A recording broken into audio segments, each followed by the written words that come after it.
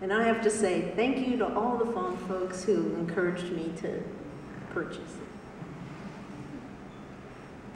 This is a song that I um, did. The lyric is by a man who lives in England, in Enfam. His name is Benjo, and his name is Tony McGlinchey, and he's a sweet guy. And we have many songs together now. And um, this is one of the first songs I ever played at an open mic for my very first time two weeks ago.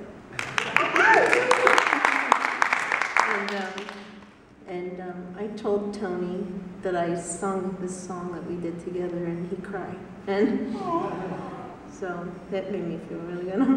Not that he cried, not that I made him cry, but just that, that it made him feel special. Um, and uh, he posted this lyric. I never asked him if I could do it because of the time change. I don't know if any of you who are Lori, oh, yeah. working with these people across the seas, you know they're sleeping when you want to do a song. And I ended up doing the music for it and sent it to him and said, what do you think? And um, he's like, how did you do it that fast? But I posted it for Valentine's Day. So another Valentine's Day song, but mine isn't funny.